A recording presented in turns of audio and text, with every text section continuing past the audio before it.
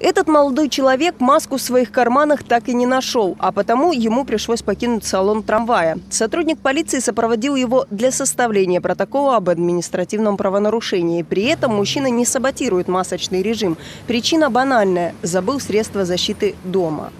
Я уже вот и, и так вот сидел. Еду на вокзал, просто у меня бабушка умерла, вот, вот честно забыл.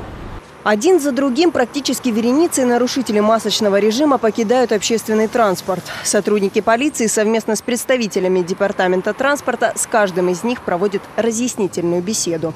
А на кого-то и составляют административный протокол. За нарушение масочного режима в общественных местах грозит штраф до 30 тысяч рублей. При повторном нарушении санкции увеличиваются до 50, но пока такие случаи не зафиксированы. Смотрел в телефон. Я всегда надеваю маску, просто сейчас задумался. Рейды по выявлению нарушителей масочного режима проводятся регулярно. С октября составлено 57 протоколов, в том числе один сегодня – все они направляются в суд, где решат, какое наказание должен понести каждый нарушитель. Кроме того, с начала осени покинули наземный транспорт 727 пассажиров, не желающих продолжать поездку в масках. А в метро не допущено более 7,5 тысяч пассажиров. Проверяем автобусы, троллейбусы, трамваи, маршрутные такси на предмет того, чтобы все пассажиры соблюдали установленные требования, у каждого на лице была маска, надета как положено, чтобы нос из нее не торчал. Не только пассажиры пренебрегают средствами индивидуальной защиты. Иногда водители и кондукторы тоже находятся в салоне транспорта без маски.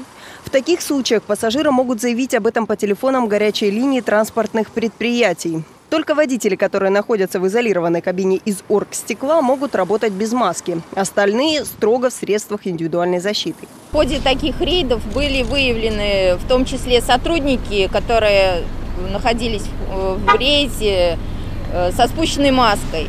Э, такие сотрудники были зафиксированы в протоколе и После была проведена служебная проверка, в ходе, после которой э, данные сотрудники были привлечены к дисциплинарной ответственности.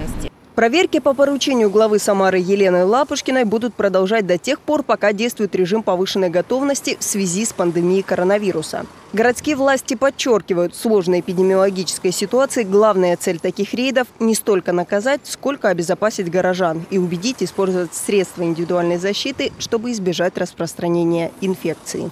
Вместе с тем комплекс мер нацелен и на защиту от гриппа и других вирусных заболеваний. Елена Малютина, Сергей Баскин. События.